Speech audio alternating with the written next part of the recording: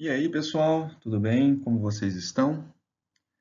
Vamos continuar a nossa disciplina, né, de Clínica Médica de Pequenos Animais 1, tá? Ah, o tema proposto, o tema que nós iremos conversar agora é sobre oftalmologia veterinária, tá? Quais... Vamos relembrar um pouquinho sobre a parte anatômica, tá?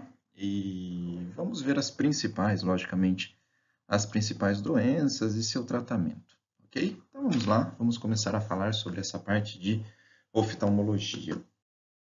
Então, vamos começar a relembrar um pouco sobre a parte da anatomia, né? Então, podemos falar que o olho ele tem três túnicas ou três camadas. Uma camada fibrosa, uma camada vascular e uma camada nervosa, que a gente já vai falar um pouquinho sobre elas, certo? A camada fibrosa é composta pela córnea e pela esclera. Então, está aqui a córnea é essa membrana transparente, né? funciona como uma janela, digamos assim, que vai ocorrer refração da luz, provavelmente a biofísica deve ter falado isso para vocês, certo?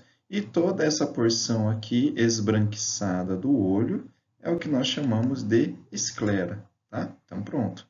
Córnea, esclera, e aqui está rebatida essa esclera, né? Ó, abriu uma janelinha nessa esclera só para rebater, e mostrar essas estruturas para vocês. Então, essa é uma camada fibrosa, certo? Funciona como proteção. A camada vascular é composta pelo corpo ciliar, pela coroide e pela íris, certo? Íris, aqui, é a partezinha colorida do olho, tá? Logo depois eu vou mostrar umas outras imagens para vocês. Então, isso daqui é a íris. O corpo ciliar, tá? Esse corpo ciliar, eu tenho esses ligamentos, né? Ó, que eles estão segurando o cristalino, tá? Mas por enquanto vamos ficar apenas com o corpo ciliar e a coroide, que é essa estrutura, essa segunda camada, essa segunda túnica, é uma túnica vascular. Então ela é altamente vascularizada, certo? Então essa é a segunda túnica vascular, íris, corpo ciliar e coroide. Lá na frente nós vamos falar sobre processos inflamatórios, né? Nessa região vascular. E quando eu falo numa camada nervosa, estou falando da retina, onde eu tenho os fotoreceptores, cones e bastonetes, e aí a partir daí eu tenho o nervo óptico, certo? Então, aqui está representado, né, por essa estrutura amarelada, certo? Então, ó, toda essa camada aqui amarelada nada mais é do que a retina, certo? Então, se formos para definir certinho no nosso desenho, como já está mostrado ali, então nós temos a esclera. Uh, nós temos, deixa eu trocar de cor aqui, nós temos coroide, que é essa membrana aqui, e logo depois nós temos a, a, a, retina. Né? Nessa retina eu tenho os cones, os bastonetes, são as células fotorreceptoras que vão se despolarizar mediante o contato da luz, certo? Então, a luminosidade vai promover uma despolarização, potencial de ação, e esse potencial de ação, então, agora, ele vai caminhar via nervo óptico, ok? Logicamente, eu tenho um líquido preenchendo toda essa câmara, que é o humor vítreo, e eu tenho um líquido preenchendo toda essa câmara aqui também, que é o que nós chamamos de humor aquoso, ok? Então, essa é a anatomia básica do nosso olho. Aqui numa vista anterolateral, né, o que a gente consegue ver, então tá aqui, ó, a íris, que é a partezinha colorida do olho, certo? A abertura no seu meio é chamada de uh, pupila, certo? E essa pupila, né, então é a contração, relaxamento desse íris, desse corpo ciliar, que vai promover uma maior abertura ou fechamento dessa pupila, ou seja, uma midríase ou uma miose, né? A gente vai começar a falar algumas coisinhas disso depois. O cristalino que é essa outra a estrutura logo depois né, dessa íris. Ah, e agora aqui a gente vê toda a retina, tá? toda a parte da retina, onde eu tenho os cones e bastonetes, que são os nossos fotorreceptores. Tem regiões específicas, né? chamada de mácula, ponto cego, enfim, mas a gente não vai precisar abordar isso relacionado à nossa aula de hoje. Com relação ao filme lacrimal, né, nós temos três porções nesse filme lacrimal. Uma porção oleosa, né, uma porção lipídica, uma porção mucoide, uma, uma porção composta por muco, né, e a maior porção deste filme lacrimal é uma porção aquosa, né? Eu tenho diferentes glândulas produzindo esse tipo de substância para o filme lacrimal, certo? Então, nós temos as glândulas de Meibom e as glândulas de Zeiss, então elas estão localizadas aqui, né? Produzindo essa porção lipídica. Com relação à parte mucoide, né? É, é feita né, pelas nossas células da conjuntiva e essa parte aquosa pela glândula lacrimal e pelas glândulas lá na terceira pálpebra, ok? A gente vai ver uh, daqui a pouquinho sobre essa terceira pálpebra, quais são as patologias que vão acometê-la, certo? E aqui a gente consegue visualizar também, né? Olha só, as glândulas de Zeiss, onde elas estão localizadas, e essa glândula de Meibom, onde que elas estão localizadas, produzindo essa porção lipídica que não estamos conseguindo visualizar essas células da conjuntiva e a, da, a glândula lacrimal, no caso, certo? Então, só para a gente entender quem é que produz essa, esse filme lacrimal e esse filme lacrimal, qual que seria a sua composição também. E todo o sistema lacrimal, né, toda essa lágrima produzida, ela vai ser drenada por um ducto, chamado de ducto nasolacrimal. Então, no canto medial né, do olho, nós temos uma abertura que é onde tem a saída né, para esse ducto chamado de ducto nasolacrimal. Por isso que uh, em algumas espécies, né, em algumas raças, digamos assim, né, se ocorrer algum processo inflamatório e esse ducto nasolacrimal ficar obstruído, aquela lágrima que seria escoada diretamente para a cavidade nasal, ela, agora esse ponto está obstruído, então o que, que acontece? Essa lágrima começa a escorrer para fora das pálpebras, né? Causando aquelas manchas no pelo, causando também até alterações na pálpebra, que é o que a gente chama de blefarite, né? Então, isso tudo decorrente de um processo inflamatório e de um estreitamento, né? De uma estenose desse ducto nasolacrimal, ok?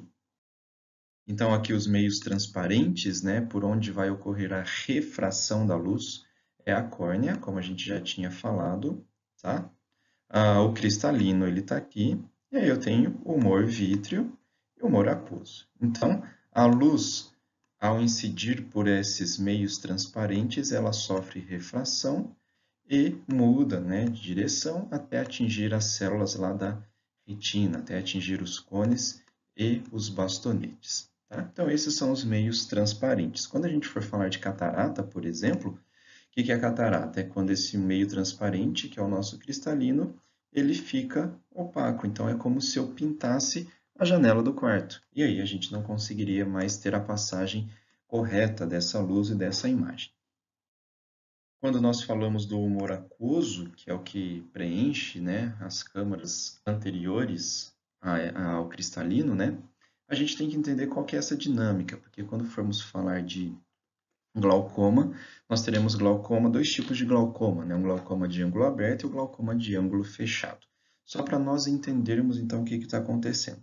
Isso daqui é a nossa córnea, ok? Isso daqui é o cristalino e toda essa parte aqui, ó, meio enrugadinha, é a íris, ok?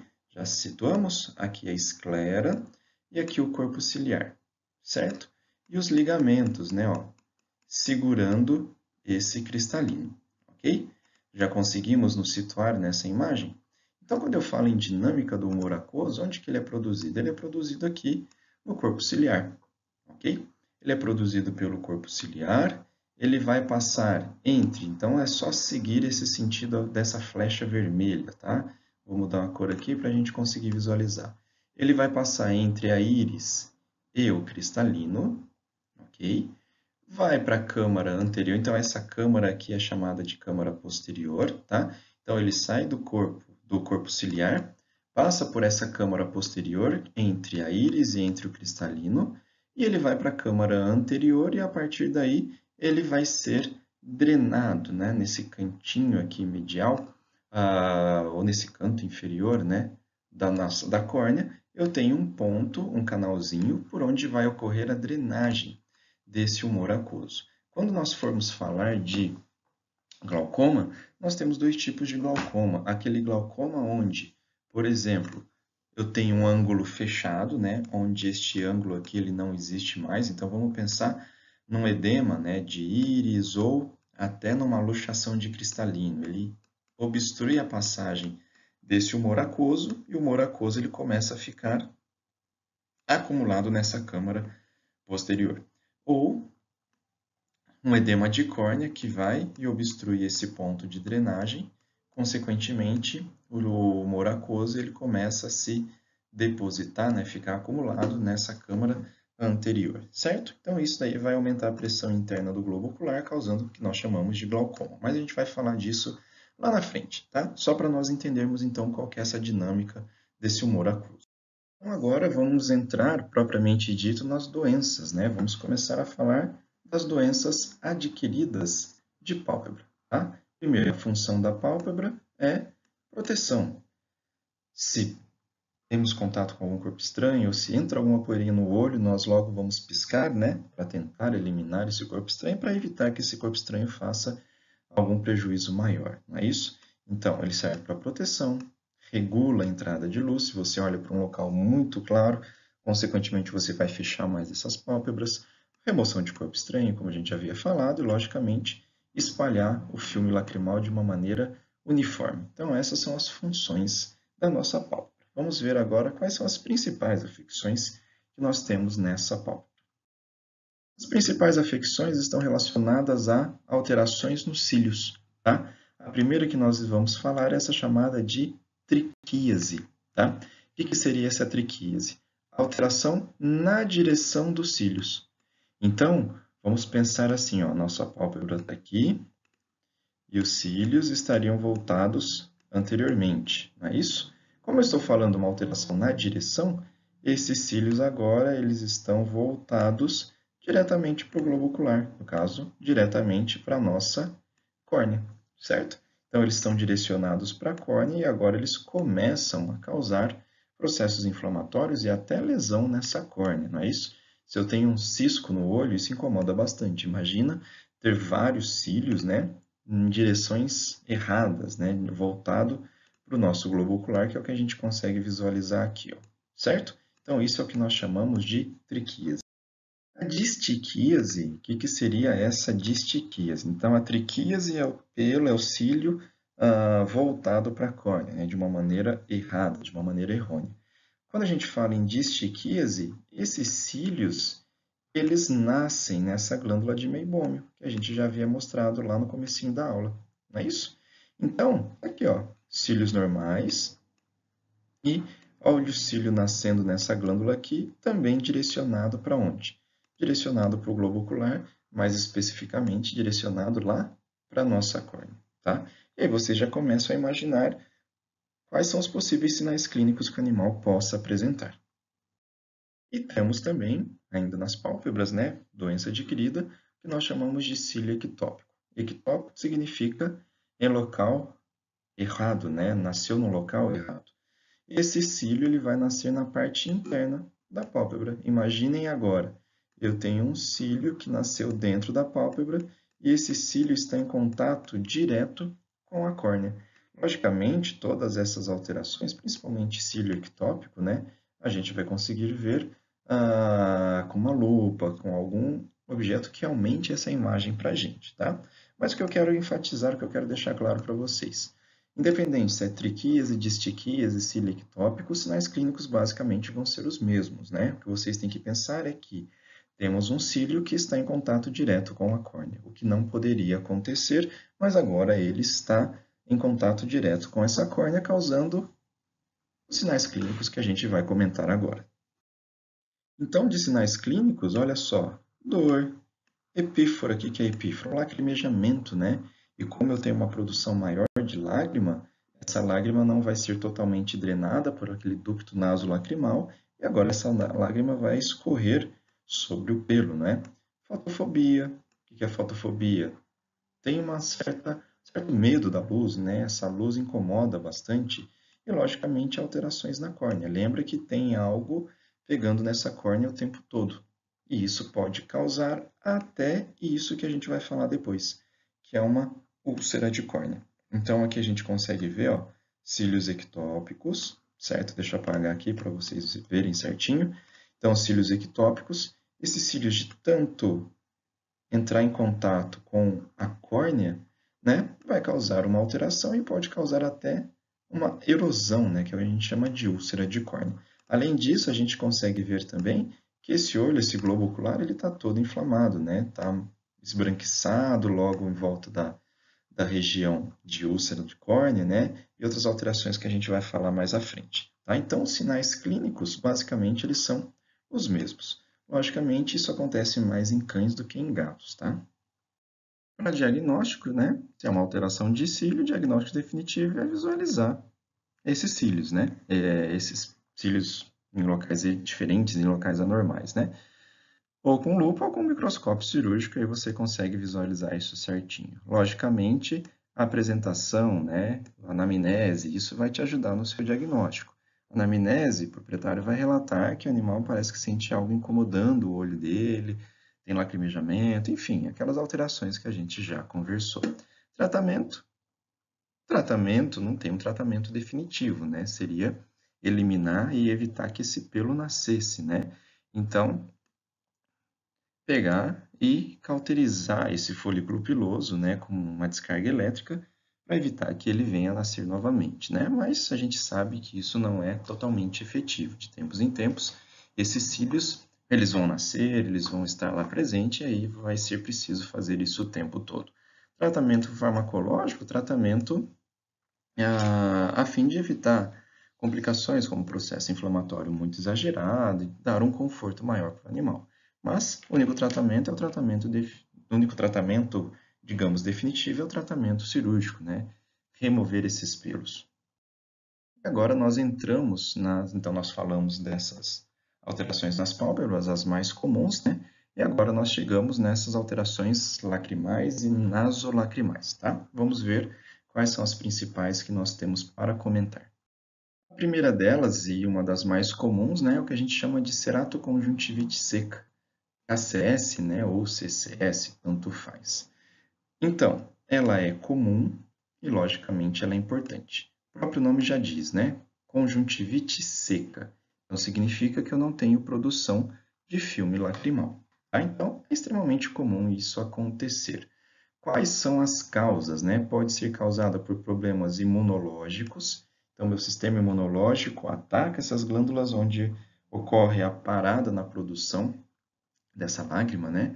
Ou por origem medicamentosa, infecciosa, tóxica ou iatrogênica. Simplesmente o animal para de produzir as lágrimas. Tá? Quando a gente fala de infecciosa, a própria sinomose, por exemplo, leva a uma ceratoconjuntivite seca, por isso que o animal fica cheio daquela secreção meio purulenta, secreção amarelada, não é isso? Então, tá aqui, é uma deficiência na porção aquosa da lágrima. Lembra que a lágrima era composta por muco, por água e por gordura, né? a parte lipídica. A parte aquosa é a maior porção das nossas, a maior porção da lágrima, né? Então, aqui eu tenho a falta nessa porção aquosa. E a gente já começa a imaginar. Então, pensem que seu olho não tem lubrificação. Se não tem lubrificação, eu tenho processo inflamatório de conjuntiva. Isso pode ser um processo inflamatório leve até um processo bem generalizado, né? Podemos ter também alterações na córnea, porque agora a minha pálpebra estará, abre aspas, entrando em atrito direto com a córnea, né? Não tem nada lubrificando isso daí.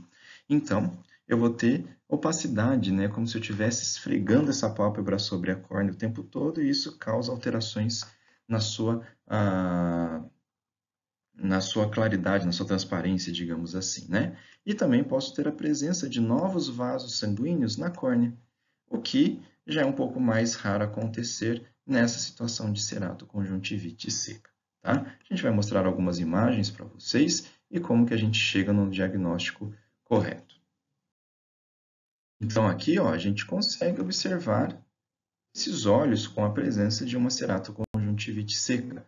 Notem também ó, que eu tenho um monte de secreção purulenta, né? aumento de concentração, só que eu não tenho mais essa lubrificação. Notem que, olha só, nessa córnea eu tenho a presença dessa neovascularização. Olha só que interessante isso daqui, certo? Então, quer dizer que os vasos saem lá da esclera e esses vasos vêm até a nossa córnea, por quê? Para promover uma maior cicatrização, não é isso? Lembra que a pálpebra está em atrito direto com essas córneas. Se está em atrito direto, causa lesão. Se eu tenho lesão, eu preciso levar um processo de cicatrização. E esse processo de cicatrização é através de novos vasos sanguíneos, né? Notem que esta, esta córnea também já está toda alterada com relação à sua coloração. Aqui também já está um pouco mais opaca e com presença de novos vasos sanguíneos, né? Olha só. E um monte de secreção purulenta ao redor, certo? Isso são sinais que acontecem nessa ceratoconjuntivite seca. Diagnóstico ele é simples, né? Diagnóstico é sinais clínicos, então chega o animal com aquelas alterações. O que nós precisamos fazer? Fazer o que nós chamamos de teste de Schimmer, que nós vamos medir a produção de lágrima, né? Para medir a produção dessa parte aquosa da lágrima dos nossos pacientes, né? Menor que 5 milímetros já significa que é uma ceratoconjuntivite extremamente severa. Vou mostrar no próximo, no próximo slide como é que faz. Então, esse é o teste de shimmer, né? O que é o teste de shimmer? É um papelzinho filtro milimetrado, como a gente está vendo, ó, de 5 até 30 milímetros, não é isso? A pontinha dela nós vamos dobrar e essa pontinha nós vamos colocar entre a pálpebra e a córnea do animal. Então, vamos abaixar a pálpebra inferior, colocar essa pontinha lá e esperar, e vamos cronometrar, né? Durante um minuto, certo? O normal como é um papel filtro, né, a hora que ele entra em contato com uma umidade ou com a lágrima, né, você vai vendo ah, esse papel mudar de cor, né? Qual que seria o normal? Normal é entre 15 e 25 milímetros em um minuto. Então, a hora que você coloca esse papelzinho lá no olho do animal, entre a pálpebra e a córnea, você vai ver que ele vai absorvendo, né? ele vai puxando a umidade. E o normal, em um minuto, é ficar entre 15 e 30, ou maior que 15, desculpa, maior que 15 ou 25 milímetros. Né? Então, você vai ver que aqui está úmido e você vai ver que aqui está seco. Isso seria o normal. Tá? Para gatos, isso é muito variável, né? mas a gente também tem como base entre 15 e 25 milímetros durante um minuto. Se durante um minuto você colocar e o papelzinho ficar úmido até aqui, significa que o animal não tem produção nenhuma de lágrimas, certo? Isso para cães e para gatos, isso é extremamente suspeito também. Então pronto, você conseguiu diagnosticar se o animal tem produção ou não de lágrimas. Acho que aqui nesse papelzinho a gente já consegue observar também, né? Ó, se vocês olharem aqui o papel está seco, né? E aqui o papel ele está úmido né? significa que é o normal disso acontecer. Tá?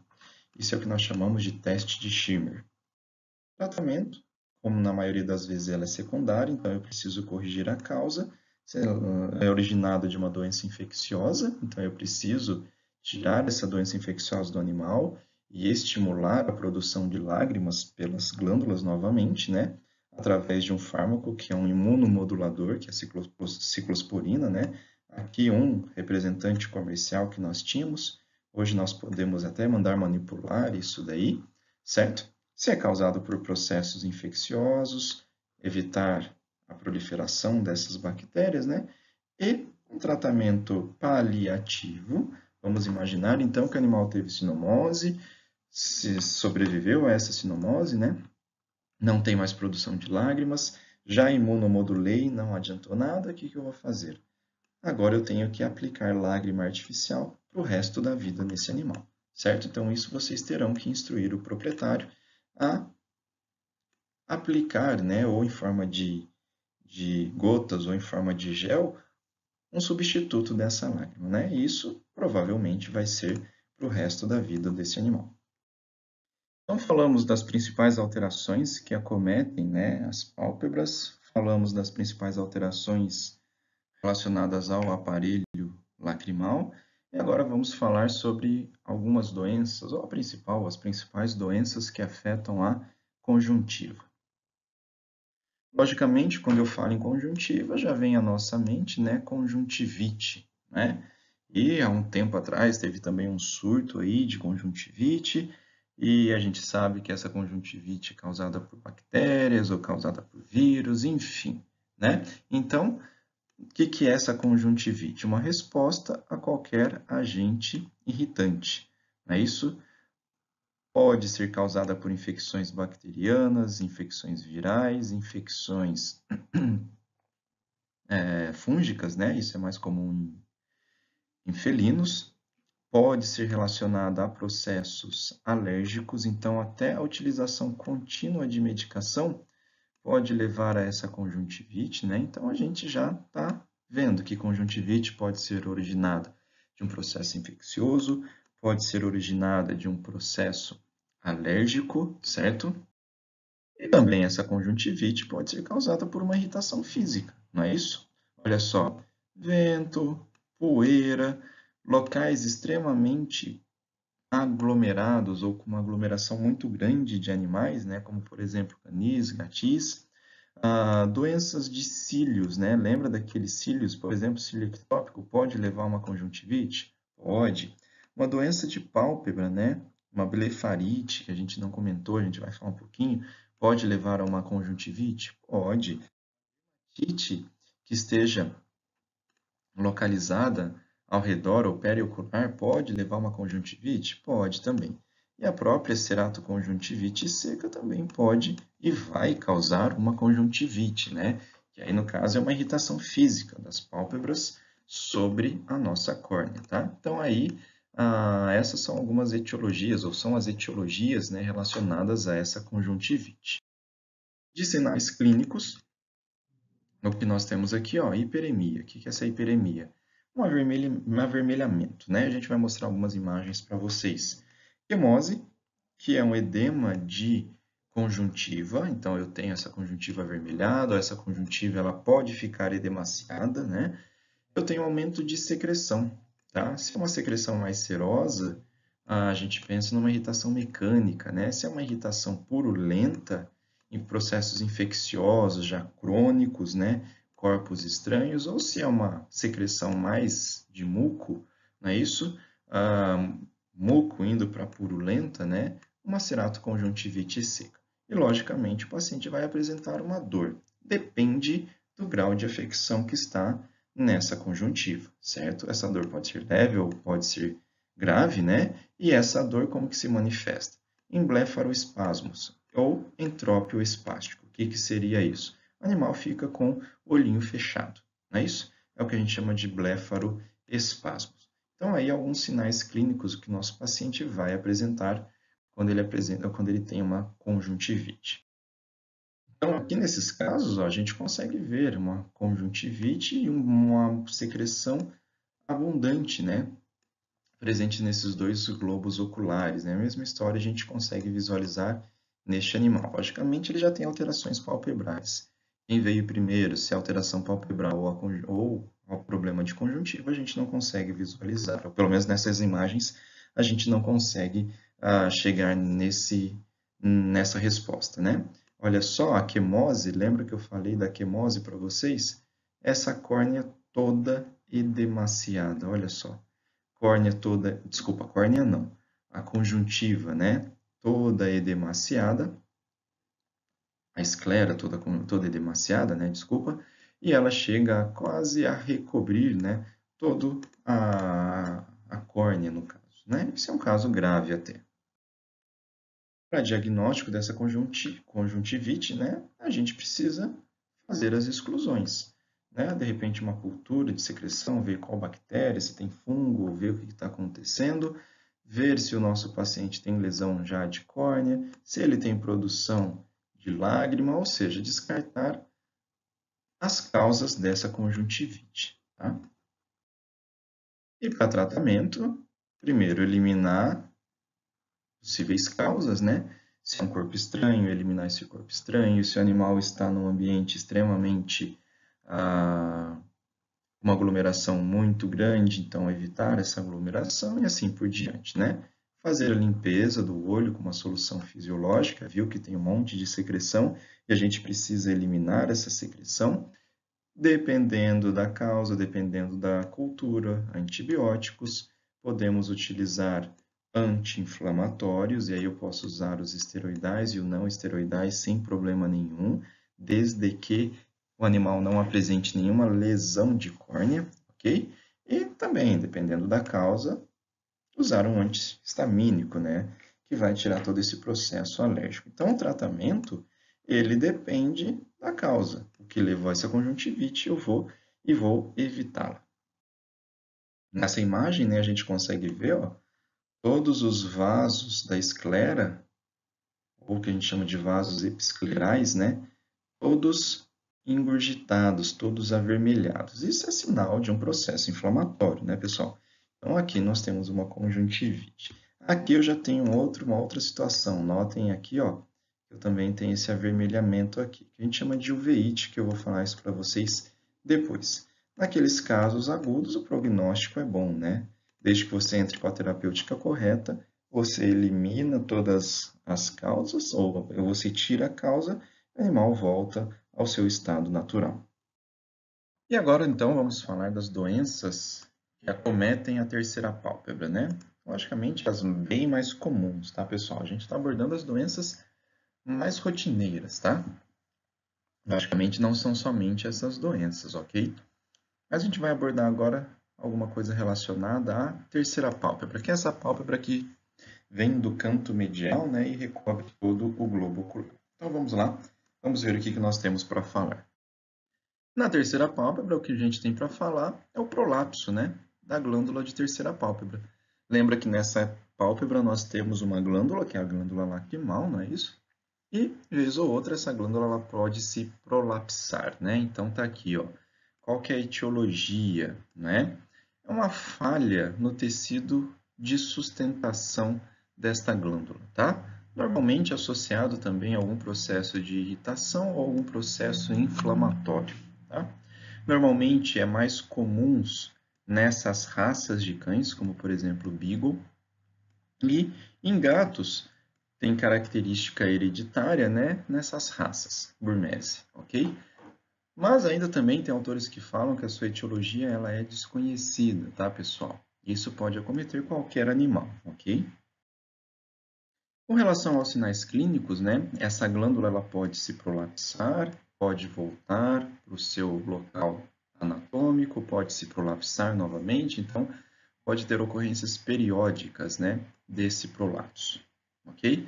Uh, eu tenho um processo inflamatório, a gente vai ver as imagens, como é que fica, como que é, qual que é a característica clínica, né? Então, eu vou ter processos inflamatórios e os sinais clínicos relacionados ao processo inflamatório, logicamente, também eu vou ter um lacrimejamento.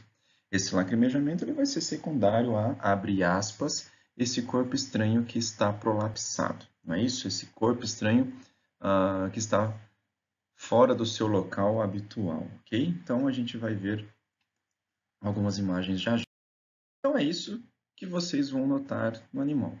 Um aumento de volume no canto medial, tá? Ela pode ser unilateral ou ela pode ser bilateral, tá? Então, notem que o proprietário ele vai chegar para vocês com a história de que o animal está normal, está sadio, está saudável, porém, de repente, aumentou de volume nesse canto medial. E é isso que vocês vão ver. E aí a gente já começa a pensar com relação a sinais clínicos, não é isso? Se eu tenho um aumento de volume, esse aumento de volume ele está em contato direto com a córnea. Isso vai causar irritação, vai causar aumento de secreção, lacrimejamento, não é isso? Então, a gente tem que ficar atento a esses sinais clínicos também, tá? Aqui, novamente, né, outras imagens mostrando esse aumento no canto medial, né, na fissura medial, ah, que esse aumento de volume ele é, é, de repente, né? ele não é um aumento de volume crônico. Né? Então, ele simplesmente apareceu. Ah, isso não poderia ser confundido também com a neoplasia, por exemplo? Neoplasia ela, é, ela tem uma evolução um pouco mais crônica, né? Já esse prolapso de glândula, ela é do dia para a noite. Isso acontece, tá? Com relação ao tratamento, Podemos deixar a glândula daquele jeito? Pode. Mas lembra que eu falei para vocês que é um tecido que está em contato direto agora com a córnea, né? Então, isso predispõe a uma conjuntivite crônica, predispõe até também a uma úlcera corneana, ok? De tratamento, pode-se fazer a remoção cirúrgica daquela, daquele aumento de volume? Poder também pode, né? Mas vocês têm que lembrar que ali tem uma glândula lacrimal. Se eu retiro a glândula lacrimal, eu tiro a produção da parte aquosa dessa lágrima, né? Então, eu vou ter que usar colírios lubrificantes para o resto da vida desse animal. Então, logicamente, remoção cirúrgica é a última escolha, né? É melhor deixar aquela glândula do jeito que está do que removê-la e aí você ter que ah, substituir essas glândulas farmacologicamente, né? E o mais indicado é o sepultamento dessa glândula, né? Uma técnica cirúrgica onde você, através de pontos de fixação, você sepulta essa glândula no seu, uh, no seu local habitual, ok? E aí, vida normal, não tem mais aumento de volume, a glândula continua produzindo a porção aquosa da lágrima e vida normal para o animal. E agora nós chegamos na córnea, né? Lembra que a córnea nada mais é do que essa janela transparente que nós temos na frente, né? Do cristalino, na frente da íris e na frente da pupila. Ela que é um meio de refração da luz. Então, a luz bate nela e ocorre e tem uma certa refração. Então, vamos ver qual é a doença ou quais as doenças que principalmente acometem a córnea. Antes de falarmos sobre as patologias corneanas, né, nós devemos entender quais são as camadas desta córnea. Né? Então, do meio externo para o meio interno, nós temos o epitélio, e esse epitélio ele é inervado, por isso que qualquer cisco no olho já causa uma certa, um certo incômodo, uma certa dor. Nós temos uma membrana basal e nós temos o estroma. Tá? O estroma corresponde a 90% da espessura dessa córnea. Ele é composto por fibras colágenas, pobremente vascularizado, e a inervação é por fibras amielinizadas. Né? Todo mundo lembra da fisiologia, que a mielina é responsável por aumentar a condução da transmissão do potencial de ação. Como aqui ela é amielinizada, então fazendo uma comparação, o epitélio é extremamente mais sensível do que essa parte do estroma, certo? Temos uma membrana chamada de membrana de Descemet, que ela é elástica, e, logicamente, o endotélio. Então, essas são as cinco camadas, o epitélio, membrana basal, estroma, membrana de, membrana de Descemet e esse endotélio. É importante nós entendermos, ou nós focarmos, né, que a maior parte da minha córnea, né, que é o estroma, não tem vasos sanguíneos e inervação amielinizada, ou seja, uh, se eu tiver uma lesão desse estroma, dificilmente eu vou ter um processo cicatricial, não é isso? E também eu não terei uma dor quando comparado a uma lesão de epitélio, por exemplo, principalmente por causa dessas fibras amielinizadas, ok? Então, colocando isso num esquema, né, fica mais fácil da gente visualizar. Aqui é o meio externo, né, o epitélio, e aqui o meio interno, né, o endotélio. Então, olhem só, essa membraninha fininha aqui é o epitélio. Logo depois, em azulzinho, né, que eu estou passando agora por cima, é o endotélio. E olha só o nosso estroma. 90% da espessura da córnea é formada por esse estroma. Tá? Depois eu tenho a membrana de Descemet, que é o que está mostrado aqui na nossa imagem em cinza, e logo depois uma fina camada, que é o nosso endotélio. Tá? Então agora a gente já conseguiu visualizar essas camadas da nossa córnea. Vimos também que o estroma é a que corresponde pela maior espessura, né? Notem que 90% da espessura dessa córnea é formada por esse estroma, que é avascular e a inervação é amielinizada, ok? E isso vai ter uma importância clínica muito grande lá na frente, tá? Quando nós falamos em doenças corneanas, sinais clínicos disso, logicamente, é dor. Essa dor se manifesta por fotofobia, o lacrimejamento, né, que é a epífora, ou blefaroespasmo, que é fechar o olhinho, né, ficar com o olho fechado, certo? Então, esses são sinais de uma doença corneana. Ah, e, logicamente, a córnea é um vidro, digamos assim, transparente, né? Se ele começa a ficar opaco ou se eu tenho alguma lesão nessa córnea, eu começo a perder a acuidade visual. Mas não porque os meus fotos receptores não funcionam. Não, porque simplesmente a luz deixa de passar e atingir, né? E aí ela, no caso, não vai atingir, no caso, ah, os cones, os bastonetes localizados lá na retina. Então, a principal patologia que acomete essa córnea é a ceratite ulcerativa, tá? ou úlcera de córnea. Temos várias causas. Causas mecânicas, né? Corpo estranho, por exemplo, olha as doenças lá de pálpebra, né? Olha a inversão dos cílios, distiquíase, triquíase, cílio ectópio, né? Ah, causas químicas, então o animal foi tomar um banho, caiu shampoo no olho, esse shampoo ele é ácido e causou essa lesão. Causas infecciosas, bacterianas, virais, micóticas. Causas metabólicas, olha só a nossa ceratoconjuntivite seca. Pode levar a um quadro de úlcera de córnea? Pode. Causas neurotrópicas, por exemplo, lesão do trigêmeo, no ramo oftalmico desse trigêmeo, né?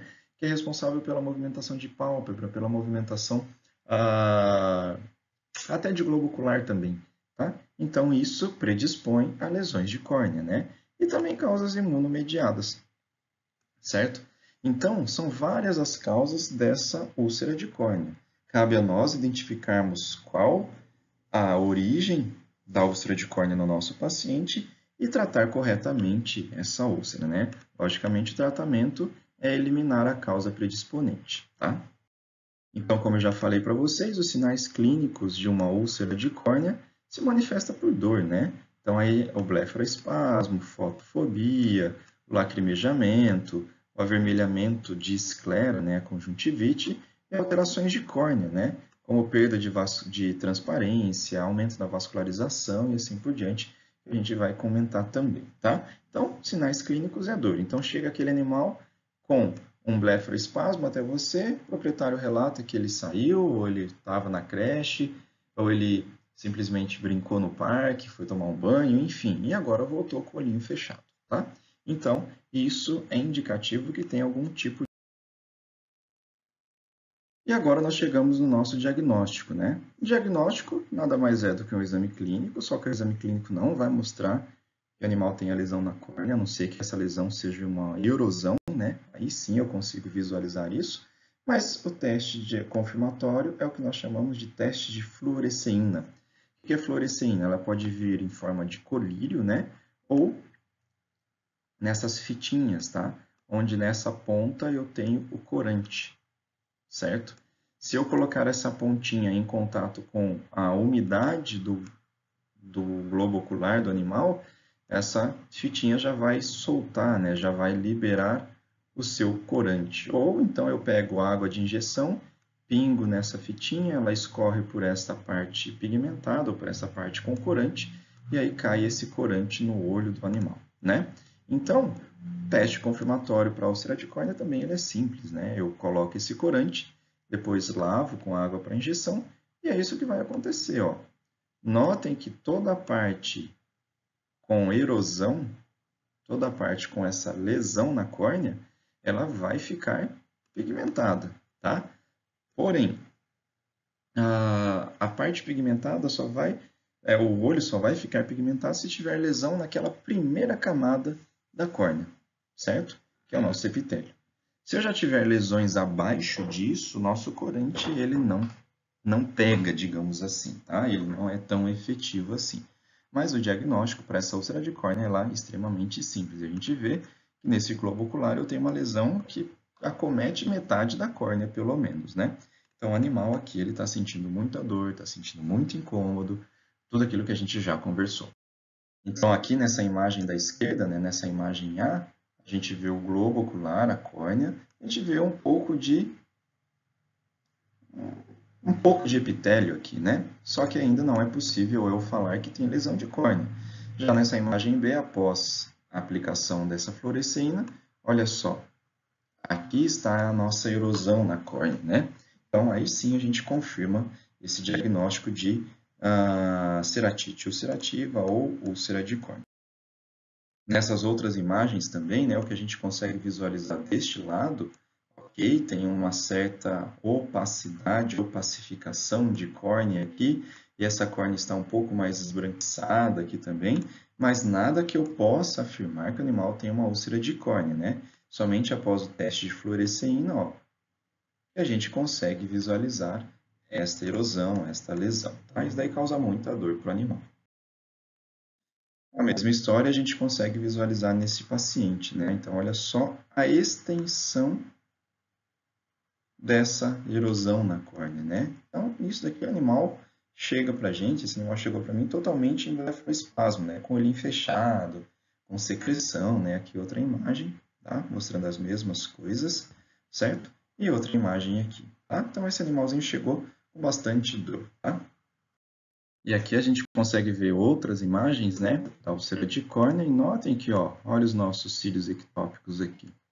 Então, como isso é uma forma crônica, né, isso aí vai causando lesão, lesão, lesão nessa córnea e até se tornar numa ceratite ulcerativa. Tá? E pode ver que em volta dessa lesão, essa é uma lesão profunda até, já fica um pouco esbranquiçado, né?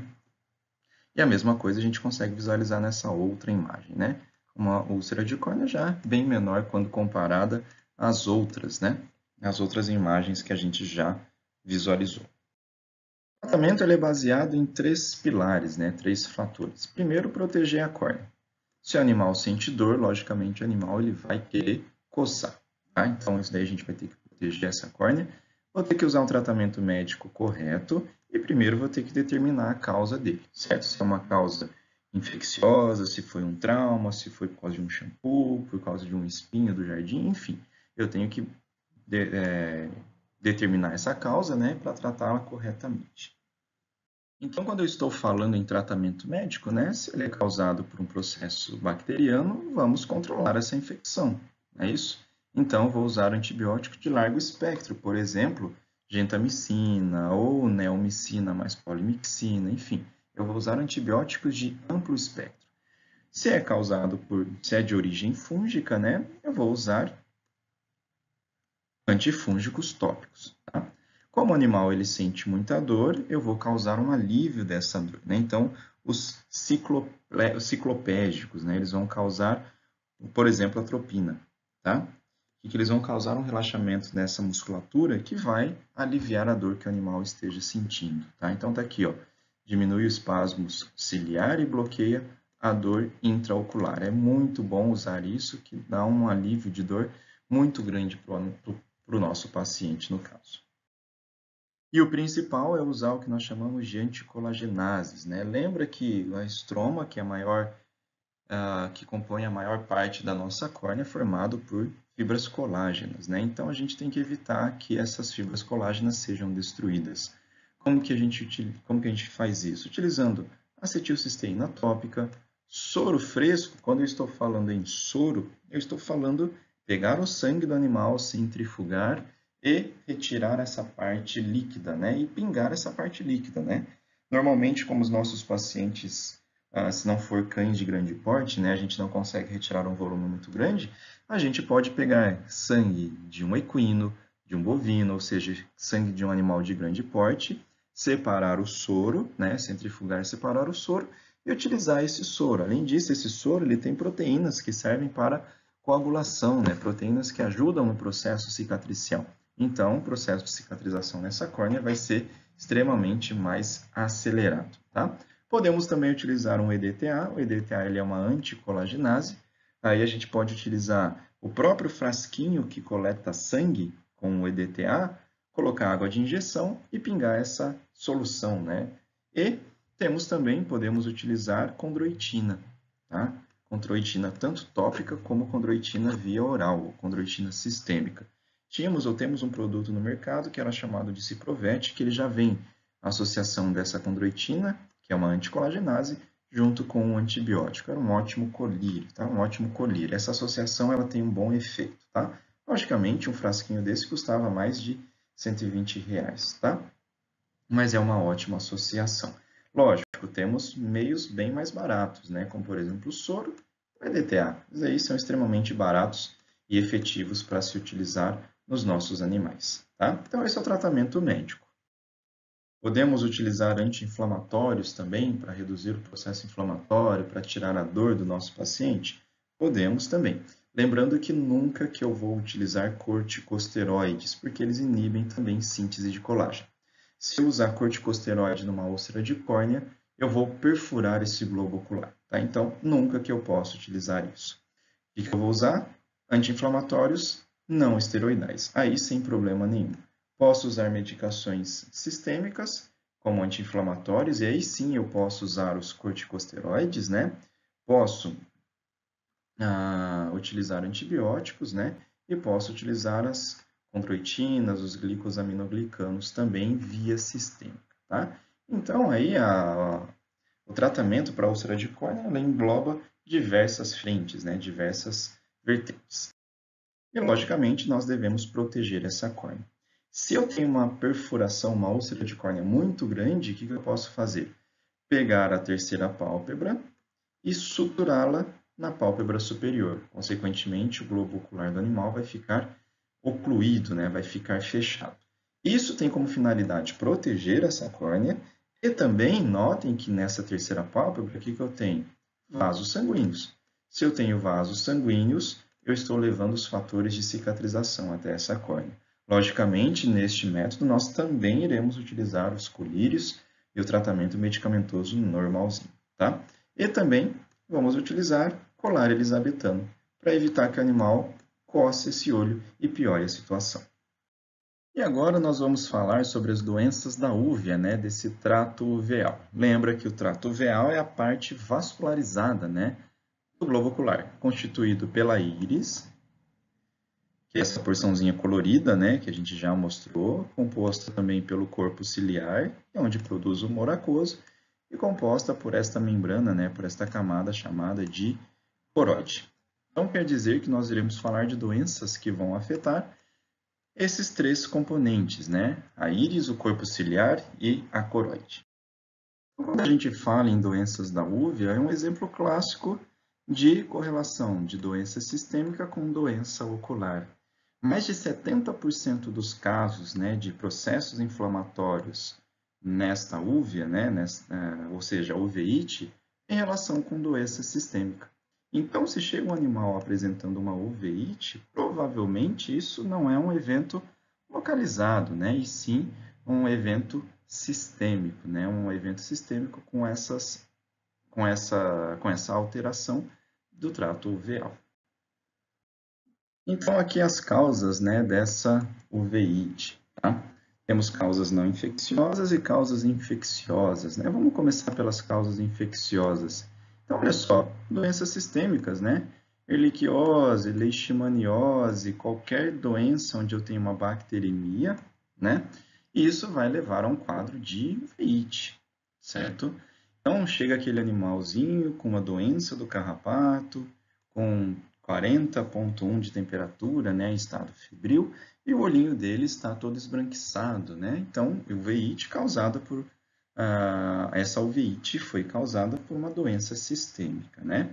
E as causas não infecciosas, por exemplo, olha só, causas traumáticas, neoplasias, própria diabetes também leva a um processo inflamatório dessa uveíte. Não quer dizer que toda diabetes vai levar a isso, tá? Mas é um evento, é uma causa não infecciosa que predispõe a essa situação de uveíte. Ela pode ser secundária também a uma inflamação de esclera ou de córnea, pode ser secundária à nossa úlcera de córnea, pode ser secundária à catarata, tá? E temos algumas doenças específicas no cão que levam a essa uveíte, por exemplo, brucelose, leptospirose, toxoplasmose, raiva, enfim, algumas doenças. De novo, a erliquiose está aqui, leishmaniose está aqui novamente, né? Que leva a essa situação de uveíte. E aqui a gente está vendo, né, olha só, quadro de bacteremia, levando a um quadro de uveíte também. Então, às vezes, o proprietário nem percebe nenhuma alteração sistêmica no animalzinho. Ele vai levar até você por causa do problema oftálmico, né? E cabe a gente a diagnosticar as causas dessa uveíte. Pode ser causada também por ah, reações imunomediadas, tá? E também pode não ter uma causa específica, né? pode ser uma causa simplesmente idiopática. Então, de sinais clínicos né, dessa uveíte, está aqui. Vermelhidão nos olhos, secreção e congestão daqueles vasos chamados de vasos episclerais, né? aqueles vasos da esclera. Tá? Porém, Glaucoma, conjuntivite, uma ceratite ulcerativa também vai causar esses mesmos sinais clínicos, né? Esses são os sinais clínicos mais comuns da uveíte. Além disso, podemos ter edema de córnea, edema de íris, miose, acúmulo de sangue ou acúmulo de pus numa câmara na câmara anterior, que é o que nós chamamos de pópium e ifema, além de dor, desconforto, fotofobia, blefaroespasmo, ou seja, praticamente todas as doenças oftálmicas, o animal apresenta o mesmo sinal clínico, concorda? Ou basicamente, né? Dor, desconforto, blefaroespasmo, tá? Então, esses são os principais sinais clínicos da uveíte. Notem que ele se confunde com outros também, tá? Além disso, um grande diferencial na uveíte é que a pressão intraocular ela vai estar diminuída, tá?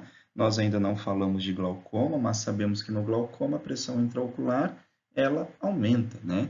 Então, aqui no caso, a pressão intraocular ela vai diminuir, tá? Por quê? Porque eu tenho mediadores inflamatórios, nossas próstatas glandinas, que aumenta a drenagem do humor aquoso. Aumentando a drenagem dele, a pressão intraocular ela diminui, tá? Então, numa uveíte, se nós mensurarmos a pressão intraocular, ela vai estar menor do que o normal. E o olho, logicamente, vai estar avermelhado. Tá? Então, isso são ah, indicativos né, de uma uveíte. Então, aqui para o tratamento dessa uveíte, né, podemos utilizar medicamentos midriáticos, né, que diminuem a dor que o animal esteja sentindo, como, por exemplo, a atropina, anti-inflamatórios. Se o animal não tiver nenhuma lesão corneana, né, podemos sim utilizar anti-inflamatórios esteroidais, como prednisona e dexametasona, antibióticos de largo espectro. Tá? Ficar sempre atento para ver se o animal não tem lesão corneana, como a gente já conversou anteriormente. Uma das complicações da uveíte é o glaucoma. Tá? Glaucoma por quê? Porque ocorre uma sineque anterior. O que, que é isso? Eu vou mostrar essa, isso daí no, no, nos próximos slides, a hora que começar, a hora que tiver uma, um desenho para vocês. Tá? Mas é o fechamento desse ângulo de drenagem do humor aquoso. Tá? Então, conforme isso, essas camadas elas vão se inflamando, né? Íris, corpo ciliar e coroide, né? Então, conforme elas vão ficando inflamadas, ocorre um estreitamento desse ângulo de drenagem, acúmulo desse humor aquoso, glaucoma. Então, glaucoma é uma das complicações e é mais comum dessas complicações dessa uveíte. Então, aqui, só para a gente conseguir entender o que, que é uma uveíte, né? Se vocês notarem, esses vasos da esclera, já estão um pouco avermelhados, né? E olha só, aqui na íris também eu já tenho um pouco de avermelhidão, né? Vou apagar aqui para vocês observarem. Vamos para essa imagem do lado direito, né? Aqui está bem mais claro, né? Então, notem aqui, ó, toda, é, todos esses vasos né, engurgitados e, logicamente, a esclera também engurgitada, é, congestos, né, no caso. Então, e, logicamente, a córnea já está numa coloração diferente. Tá? Ela já está um pouco esbranquiçada. E isso é uma uveíte. Aqui também, né, outras situações de uveíte de uma maneira bem mais difusa. Aqui os vasos episclerais, ó, todos engurgitados também. Lembra que na conjuntivite, conjuntivite também acontece isso, né? E aqui toda a região da íris extremamente avermelhada, né? Então, isso é indicativo de uma uveíte. Aqui também a gente consegue visualizar, né? Bem legal aqui, ó. Esses vasos congestionados ou congestos, esses vasos episclerais engurgitados também, né? Tudo isso indicativo de uma uveíte. Notem que a córnea também já está começando a ficar um pouco mais opaca, já está mudando de coloração. E quando eu falei que uma das complicações é o glaucoma, né? Lembra desse, olha só, o corpo ciliar está aqui, não é isso? aqui está minha íris, né? Então, o moracoso ele é produzido aqui, passa entre a íris e o cristalino, que é esse daqui, passa por esse ângulo e ele vai ser drenado aqui no cantinho. Não é isso que nós tínhamos conversado lá no comecinho da aula? Então, o que, que acontece? Como agora o meu cristalino, minha íris, desculpa, minha íris está inflamada, né? Então, ela começa a ficar edemaciada, começa a ficar ah, de um volume maior do que o normal. O que, que vai acontecer? Ela obstrui esse ângulo de drenagem, né? o que a gente chama de sineque anterior. Então, entre o cristalino e a íris, o humor aquoso não consegue mais passar, levando a um quadro de glaucoma, tá? Então, essa é a complicação mais comum do uma. Então, agora nós vamos falar sobre glaucoma, né? Como vocês já podem notar, glaucoma é um aumento de pressão intraocular, né? E aí esse globo, ele se projeta exteriormente, né?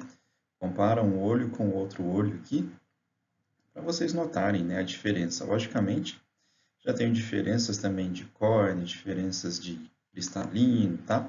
Então, isso é o glaucoma. Então, por definição, está aqui. É uma pressão intraocular elevada, levando aquele quadro de buftalmia, ou seja, o globo ocular ele é jogado para fora, digamos assim, né? E, consequentemente, como esse globo ocular ele fica mais exposto, essa córnea ela tem uma lesão por exposição, né? Além disso, essa pressão intraocular vai causar uma degeneração de retina, tá?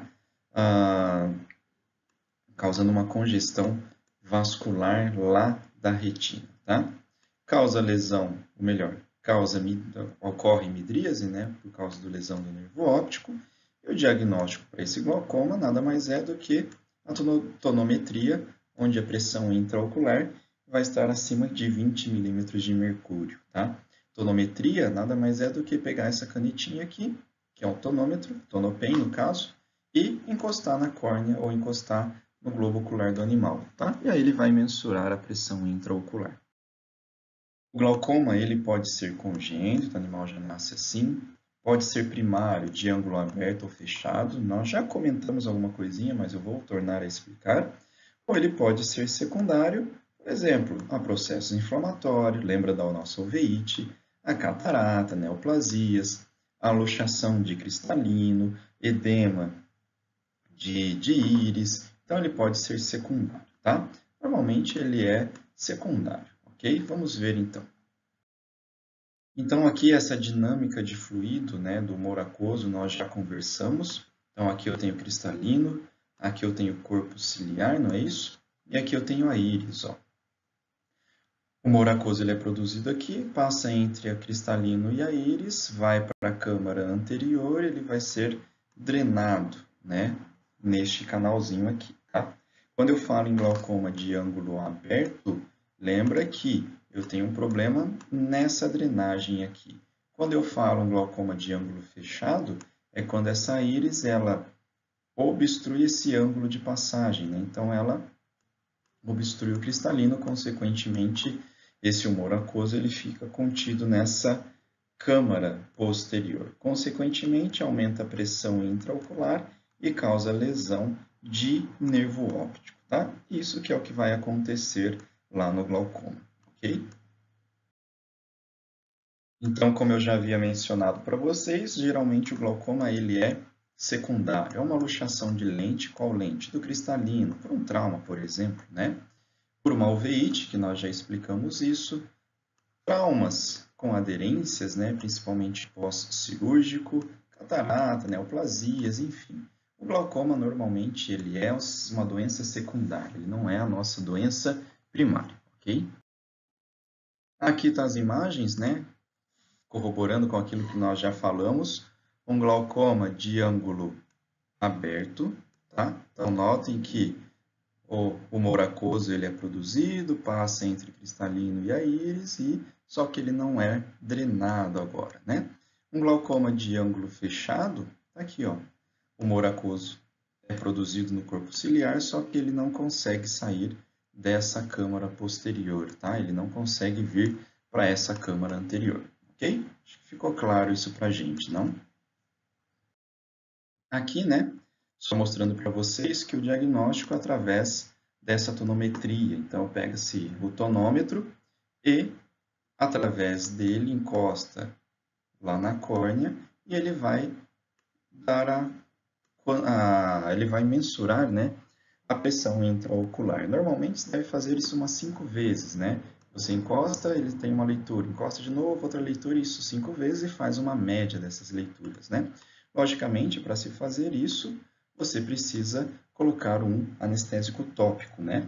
Colocar um anestésico tópico no olho do animal e aí sim ele permite você fazer essa mensuração, tá? Notem também que nesse tonopen ele tem uma camisinha, né? Ele é envolvido por uma camisinha para você não pegar, por exemplo, bactérias de um animal e levar para outro animal, tá? Então essas são as, os cuidados que deve se ter. O normal é pressão intraocular entre 10 e 25 milímetros de mercúrio. Esse é o normal. Acima disso, pronto, nós já temos o nosso glaucoma.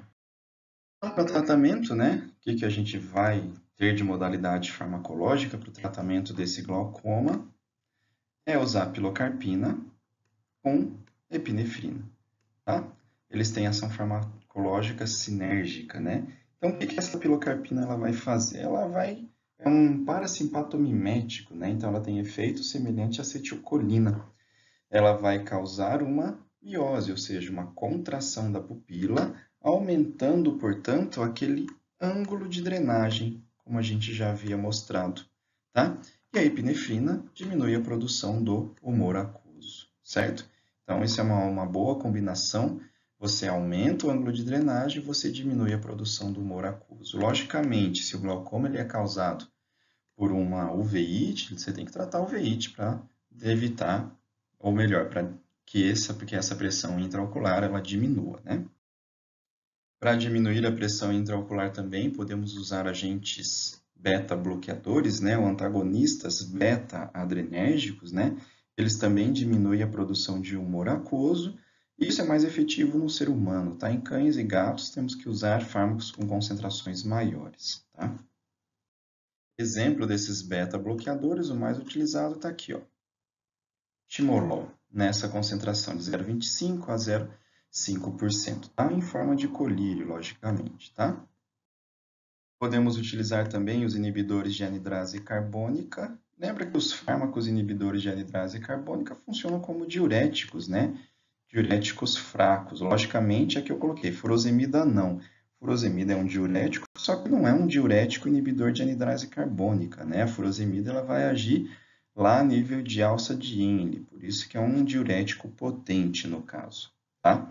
Ah, então, ele também, ó, 40 a 60% da secreção do corpo ciliar é relacionada à anidrase carbônica. Então, inibindo essa anidrase carbônica, você também estará inibindo a produção de humor aquoso. Aí os fármacos inibidores de anidrase carbônica tá aqui, ó, acetazolamida, diclorfenadamida, tá? de clorfenamida, desculpa, certo? Ah, por via oral, certo? Então, eles podem ser utilizados por via oral. Como contraindicações, digamos assim, tem os efeitos da diurese, né? Que não é o que a gente está desejando no momento. A gente só quer diminuir a produção do humor aquoso. E temos também os inibidores da anidrase carbônica em forma tópica, né? Ó, a dorzolamida, nome comercial Truzopt, ou a brinzolamida, né? Nome comercial Azopt, tá? Então, esses são colírios que são utilizados no glaucoma. São inibidores da anidrase carbônica, consequentemente, eles têm um efeito local, diminuindo, portanto, a produção de humor aquoso, ok?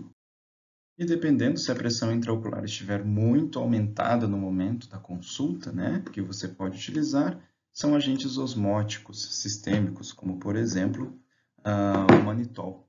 Tá? Então, vocês podem utilizá-los eles vão remover todos os líquidos, né? O excesso de líquidos, incluindo humor aquoso e humor vítreo, certo?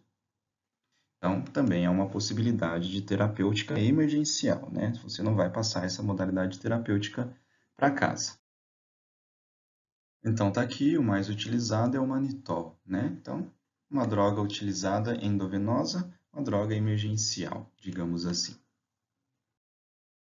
Podemos utilizar também um análogo de prostaglandina, F2-alfa, né, que ele aumenta o fluxo desse humor aquoso, que é o latanoprost, né, nome comercial Xalatan. Então, temos diversas modalidades para a terapêutica do glaucoma. Então, está aqui, né? Vamos corrigir a causa primária do glaucoma. Normalmente, esse glaucoma ele é secundário a alguma patologia. Então, aqui, ó, secundário a uveíte. Vamos tratar essa uveíte. Se o cristalino está luxado, vamos tirar esse cristalino, não é isso? Ah, podemos utilizar medicações tópicas como essas medicações parasimpatomiméticas, ou epinefrina, ou os beta-bloqueadores, não é isso? E se a minha pressão intraocular, que deve ser até 25 milímetros de mercúrio, no momento da sua consulta estiver em 50 milímetros, né, maior do que isso, aí sim você precisa reduzir essa pressão de uma maneira extremamente rápida, utilizando o manitol, por exemplo, né? aquele diurético osmótico que a gente conversou lá atrás. O melhor tratamento, mais efetivo que a gente tem para o glaucoma, né, é utilizar um inibidor de anidrase carbônica e utilizar um beta-bloqueador, certo? Já temos associação farmacológica, né, associação comercial farmacológica, você pode utilizá-lo para tentar evitar que esse glaucoma progrida, ok? Então, esse foi o nosso glaucoma. E agora nós vamos falar sobre catarata. É, terminando a nossa aula, nós vamos falar sobre catarata.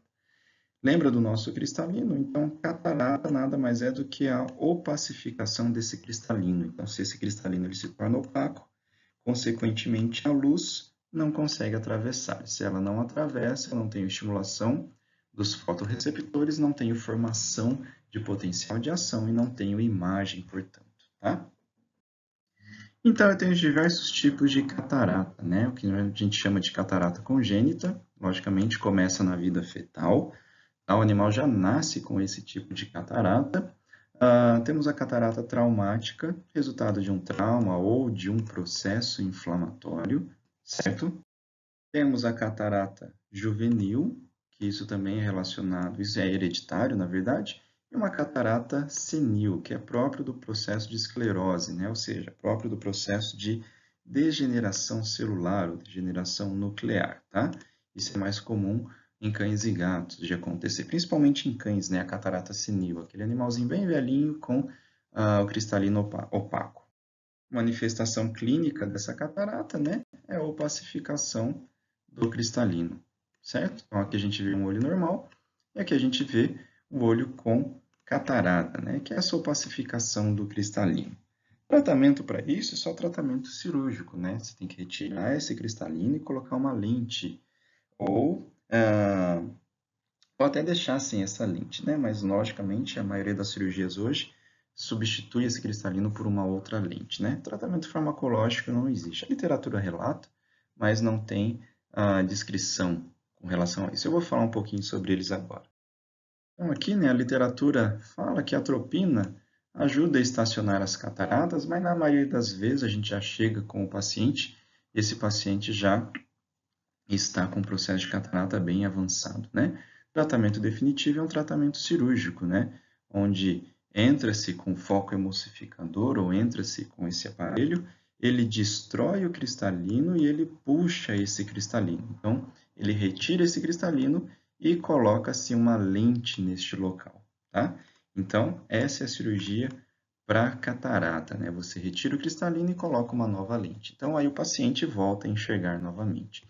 Logicamente, tem uma seleção criteriosa de paciente, né? Ou seja, você tem que observar se já não tem lesão de retina, lesão de nervo óptico, se realmente a cirurgia vai ser efetiva, né? E, logicamente, uns cuidados pós-operatórios depois dessa cirurgia, ok? Mas é igual em seres humanos, né?